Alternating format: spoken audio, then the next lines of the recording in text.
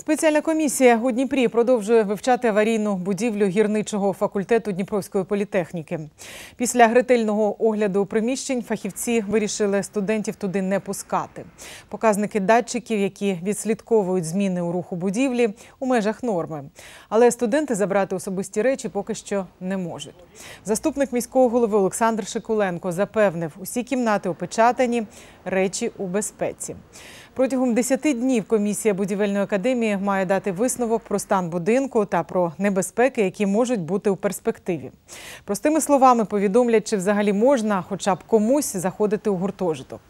І також чекають на висновок комісії гірничого університету. Із експертами укладають договір на суму 475 тисяч гривень. Висновок щодо ґрунтів і рівень води мають оприлюднити щонайменше за місяць. Востаннє подібні дослідження проводили у 1994 році. Рух пішоходів та автомобілів на ділянці поки що обмежений.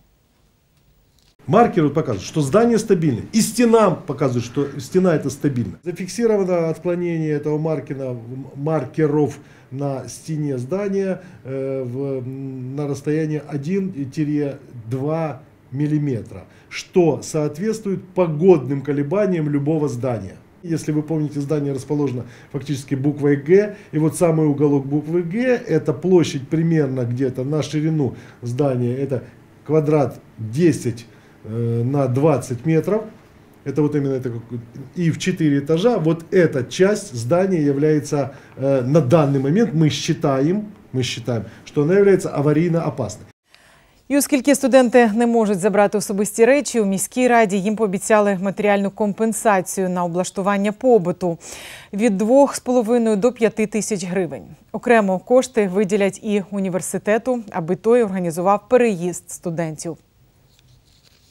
Бы была возможность студентам зайти, забрать свои вещи, то тогда бы вопрос так не стоял. Поскольку вопрос стоит, что исключено, то мы это делаем уже сегодня. Это вот завтра, послезавтра будет. То есть мы до конца недели эти деньги будем выделять.